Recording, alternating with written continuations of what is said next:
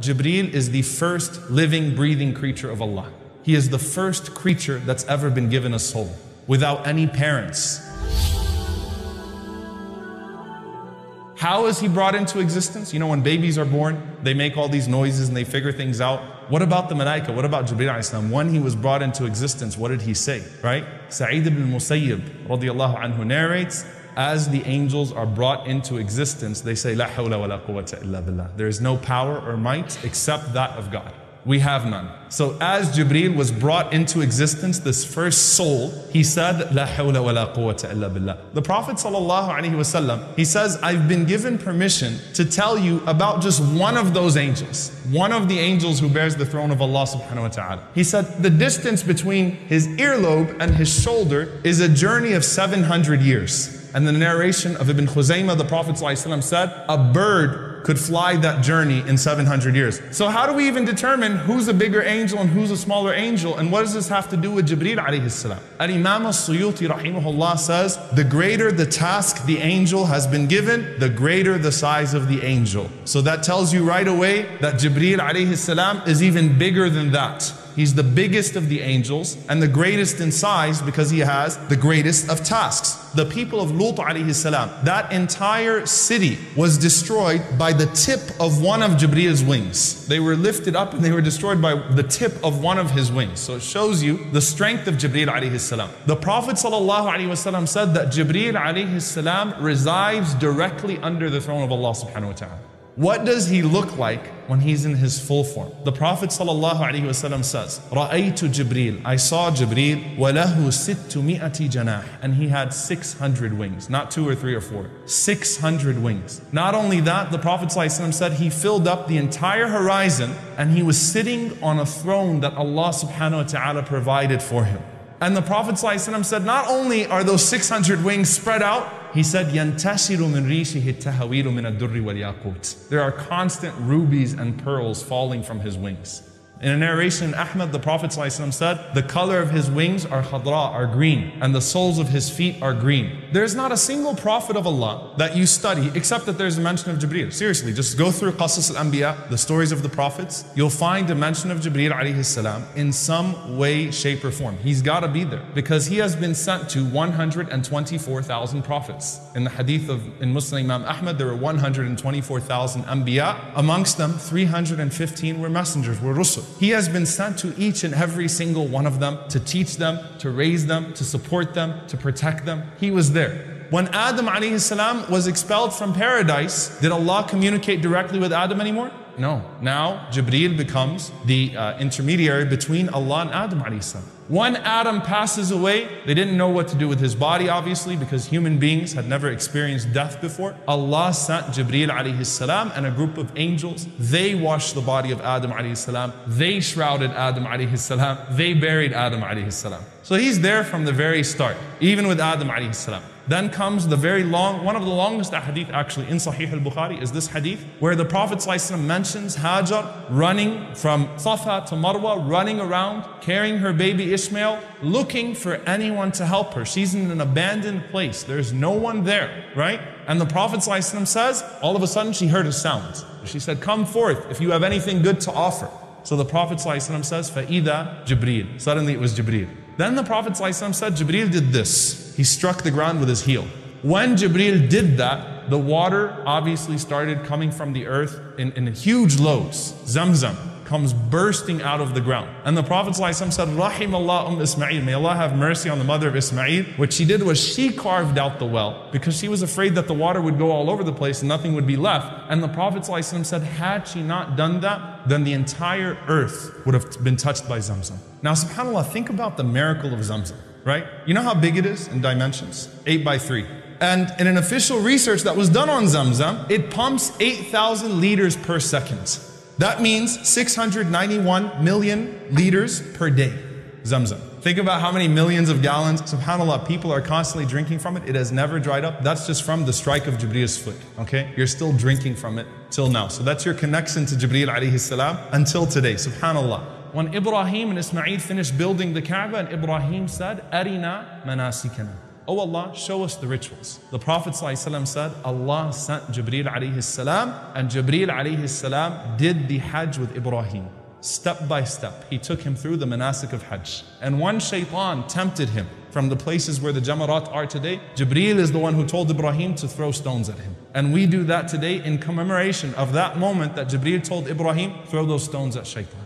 Do you ever associate Yusuf alayhi salam with Jibreel alayhi salam? You don't, I mean, you don't see, you could listen to an entire series on Yusuf alayhi salam and Jibreel never comes into the picture. But he is there. Where is his first encounter with Jibreel? You know where it is? When his brothers threw him into that well. And Yusuf alayhi salam went plunging to the bottom. He landed in the hands of a man that he's never seen before. Jibreel alayhi salam. Jibreel caught him to make sure that the fall was not too, too harsh on him. Allah does not lose you, Allah does not let you go to waste. With Isa alayhi salam, Allah Azza wa says, أَيَّدْنَاهُ بِرُوحِ الْقُدُسِ We supported him with the Holy Spirit. And Allah even mentions it as a favor to Isa alayhi salam. أَيَّتُكَ I supported you with Ruh al-Qudus, with the Holy Spirit. The only angel that could take a prophet and ascend and descend through the heavens is who? Jibreel. So when the plot was made to crucify him, the angel that was sent to him to take him through the heavens and to place him there until Allah subhanahu wa ta'ala decrees that he returns was Jibreel alayhi salam. When does the Prophet first see Jibreel? as a young child. Anas ibn Malik radiallahu anhu narrates that the Prophet sallallahu wasallam was running around playing with all of the children just like everyone else. And this is the year that his mother died. So the Prophet sallallahu is a complete orphan at this point. He's lost his mother and he's lost his father sallallahu and he's now switching from hand to hand, I mean from lap to lap. Rasulullah sallallahu still was a very happy child and he's running around playing with all of the other kids when suddenly a man came and he grabbed Rasulullah sallallahu and he threw him into the ground. So all of the other children went running to their parents and they said, Inna Muhammadan qad qutil. That Muhammad has been killed. And as they're running to their parents, the Prophet is watching now what this man is about to do to him. Rasulullah said, He cut my chest, he opened my chest He grabbed the heart of the Prophet sallallahu alaihi wasallam and he took something from the heart of the Prophet ﷺ and he said, هَذَا حَظُّ الشَّيْطَانِ مِنْكَ This is the portion of evil within you, the portion of the devil within you. And he threw it. Then the Prophet ﷺ said, he proceeded to wash my heart in a golden vessel of Zamzam. And his heart was put back, sallallahu alaihi wasallam. And by the time the kids got back, they found the Prophet ﷺ with his chest sewn up for 34 years, the Prophet ﷺ knew that this happened, and we, we know that other miracles happened with him as well, وسلم, with no explanation. 34 years later, at the age of 40 years old, Aisha radiallahu ta'ala anha said, the Prophet ﷺ, he started to see truthful, righteous dreams. For six months, all of a sudden, the Prophet ﷺ started to see truthful, righteous dreams. Good dreams, truthful dreams. He sees in a dream that something is going to happen tomorrow, that someone's going to come visit him. The next day, that person comes and visits him wearing exactly what he saw him in the dream doing. He sees a janazah in his dream. He wakes up in the morning and he finds out that a person has passed away and that janazah takes place. And that continued for six months. Everything that he was seeing in his dream would come true the next night. So he already has an idea that something is happening. Just to sort of understand why the Prophet would all of a sudden start going to a cave, right? And meditating and praying right? Something very strange is happening with him, sallallahu alaihi wasallam, as he's seeing these things. Then suddenly Aisha radiallahu anha says, Allah bestowed the love of seclusion on the Prophet sallallahu alaihi wasallam. Suddenly he loved to be alone. Rasulullah sallallahu would climb up to Hira. Now Hira is about a two-hour climb. Suddenly, as the Prophet ﷺ is there one day, he sees Jibreel alayhi salam. Now, did Jibreel come to him in the form of an angel or in the form of a human being? In the form of a human being. So you might be thinking to yourself, why in the world was the Prophet ﷺ scared then? Well, think about it. You're two hours up there, no one's around you, and then all of a sudden you see a strange man standing at the mouth of the cave, and he's just staring you down. He's not saying anything. A future narration gives us an idea of what happened to the Prophet ﷺ. Rasulullah ﷺ, when he told Khadija what happens, he said, جَاءَنِي الَّذِي أَتَانِي فِي الْمَنَامِ The one who I was seeing in my dreams came to me. So that further establishes that the Prophet ﷺ had already seen Jibreel in his dreams. And so he's thinking that this is strange. I'm not sleeping right now. I'm not dreaming, which explains why Jibreel grabbed him. He hugged him. This is real. Iqra, read. That's the process of that revelation coming to the Messenger. Not only that, dear brothers and sisters, but you know when you recite Quran, That's the, the easiest way to get angels to surround you is to start reading Quran. You know why? Because the angels have not been given the gift of the recitation of the Quran. And some of you are like, wait, what? The angels do not recite the Quran. يستمعون إليه. They listen to it. There are only a few angels that Allah subhanahu wa ta'ala has actually given the gift of the recitation of it. Obviously Jibreel alayhi salam and some angels, but for the most part, the angels, they listen to it. So when you start to recite Quran in the Quran al-Fajr, كان مشهودا. the angels witness that. The angels surround the people as they recite the Quran because they love to hear it since they don't recite it. Subhanallah. He's with the Prophet in, in every single hardship the Prophet goes through. For example, Abu Jahl says that if this man puts his face in the dirt again in front of us, in front of the Kaaba, he swore by Allat wal Uzza, he swore by the idols that I'm going to step on his neck and I'm going to kill him. I'll do away with him. It'll be the end of Muhammad.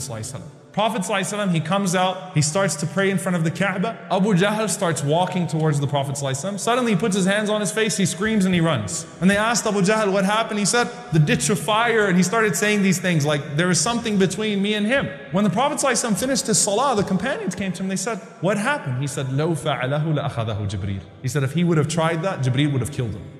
like I know Jibreel is there and Jibreel would have done away with Abu Jahl. Al-Qadi Ayyad, he writes a, a very famous seerah of the Prophet ﷺ called Ash-Shifa, the cure. He describes a narration, an incident that took place between the Prophet ﷺ and Jibreel. Rasulullah ﷺ asked Jibreel, he says, you know, Allah says in the Quran, وَمَا أَرْسَلْنَاكَ إِلَّا رَحْمَةً لِلْعَالَمِينَ We have not sent you except as a mercy to all of the worlds. He said, Did any of my mercy reach you? I mean, you're part of the world, you're part of you're the realm of the malaika, you're the realm of the angel. Did any of that rahmah reach you? Jibreel alayhi salam responded and he said, Ya Muhammad, Wallahi innaka ahabbul anbiya'i. He said, I swear by Allah, you are the most beloved of the prophets to me. I've never been sent to someone that I loved more than I loved you. He said, and it was through you that I gained security. What does he mean by that? He said, I used to wonder about my fate until Allah revealed to you عند ذو العرش مكين that he's established in his position with the owner of the throne. Before that was revealed to you, Jibreel used to wonder what would happen to him at the end of this all. When Allah revealed that to the Prophet ﷺ, Jibreel felt the rahmah of the Prophet ﷺ.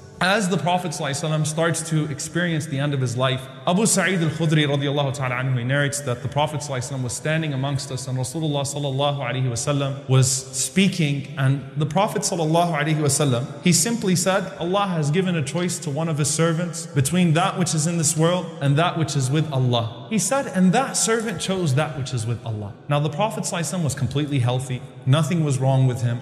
So the Sahaba assumed what? That this is just some analogy that he's giving. He's just talking about some servant, maybe in the past or something like that. He was given the choice between that of this world and that of the hereafter. But Abu Sa'id says Abu Bakr broke down into tears. And he said, later on, we realized that the Prophet was talking about himself. He was the one that was given that choice. And Abu Bakr was the only one who caught it.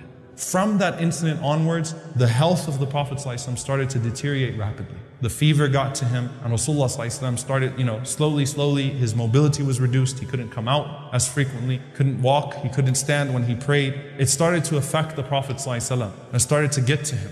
Inside of his home, everyone was crying because they knew that the Prophet's time was nearing its end. Aisha radiallahu anha then, she was, you know, moving the Prophet where he needed to be moved. She held the Prophet tight and Rasulullah was leaning against her chest. And Rasulullah his eyes fell to the side on Abdurrahman ibn Abi Bakr radiallahu anhu, her brother, and he had a siwak in his pocket. And Aisha says the Prophet's eyes fell on it, and so I knew that he wanted it. So I said to Rasulullah, Do you want that? That toothbrush, the siwak?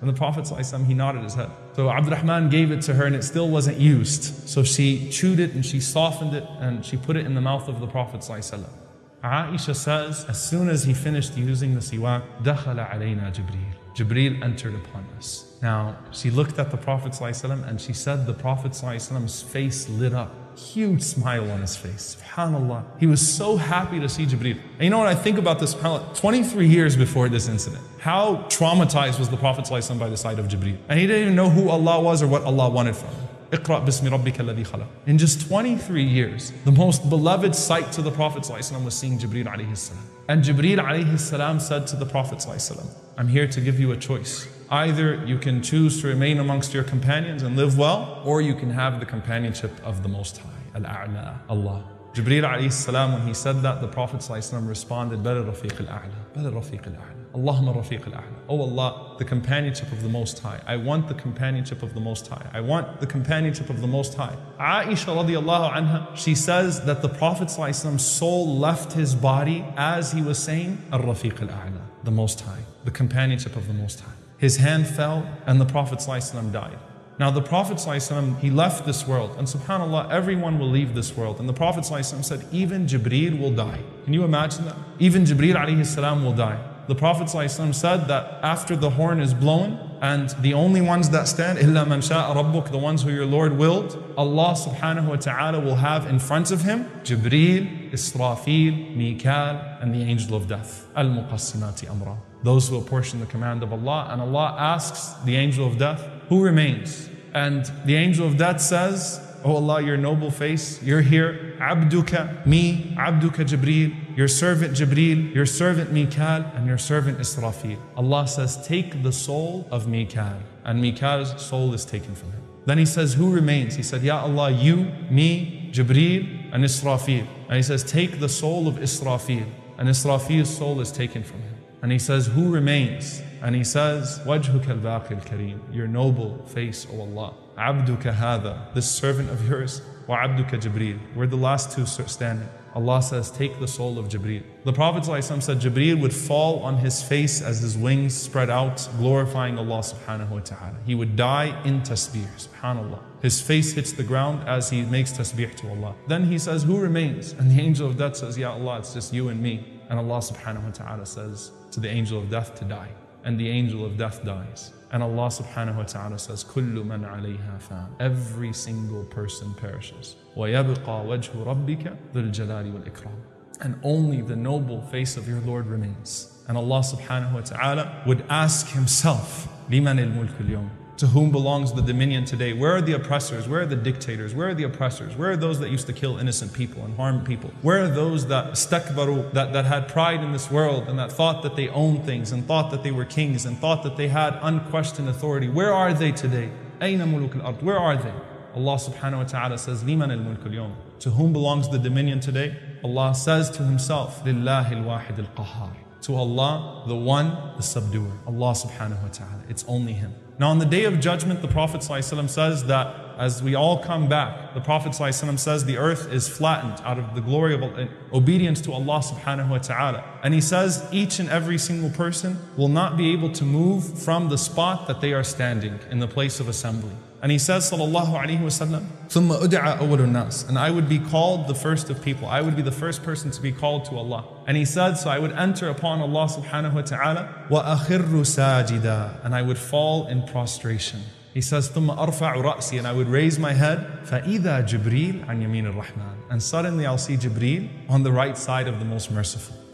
So, and, and you know what he says in this hadith, subhanAllah? He says, وَاللَّهِ مَا رَآهُ قَبْلَهَا I swear by Allah, he never saw him before that day. Jibreel has never seen Allah subhanahu wa ta'ala. The vision of Allah cannot be grasped. On the day of judgment, that would be the first time Jibreel would actually be able to look at Allah subhanahu wa ta'ala. Allahi ma ra'ahu qablaha. So when the Prophet ﷺ sees him, he points to him and he says, Ya Rab, inna hadha akhbarani annaka arsaltahu ilay. He says, Oh my Lord, this one told me that you sent him to me. فَيَقُولُ اللَّهُ صَدَقْتَ Allah says, you've told the truth. Why does the Prophet ﷺ choose to do that on the day of judgment? Why does he feel that inclination? Because on the day of judgment, every messenger is being asked whether he delivered the message or not. The Prophet ﷺ vouches for Jibreel before he's even asked. Oh Allah, he said you sent him to me. He did his job. And Allah says, Sadaqt. Can you talk to Jibreel in Jannah? Can you be with him? Can you? أنت مع من أحببت. You're with the one that you love. Not only that, the Prophet ﷺ says, رأيت جعفر. I saw Ja'far رضي الله تعالى عنه وهو يطير في الجنة مع الملائكة. And he was flying in Jannah with the angels. You could get your pair of wings and you could fly with Jibreel alayhi salam in Jannah. And SubhanAllah, one of my favorite things about talking about Jibreel, as opposed to talking about some of the companions of the Messenger sallallahu alayhi wasallam, is that you can actually interact with Jibreel right now. You know how? The Prophet ﷺ, he says in an authentic hadith. And actually, Anas radiallahu anhu says, and Abu Talha says, one time the Prophet ﷺ, all of a sudden his face was just full of joy. So he said to him, Ya Rasulullah, what is it? May Allah keep you happy. He said, جاءني جبريل. Jibreel just came to me. فقال أما يرضيك يا محمد أن لا يصلي عليك أحد من أمتك إلا صليت عليه عشرا Aren't you pleased, though, Muhammad sallallahu that no one says sallallahu alayhi wasallam except that I send salawat upon them ten times? Jibreel alayhi salam as well. Inna Allah wa malaikatahu yusalluna ala nabi. Allah and the angels send their salawat on the Prophet sallallahu And when you send the salawat on the Prophet sallallahu Jibreel alayhi salam responds to you as well. Allah responds to you and Jibreel alayhi salam responds to you. So you want Jibreel alayhi salam to say your name right now? Sallallahu alayhi wa sallam. Allahumma salli wa sallam ala nabiyyina Muhammad.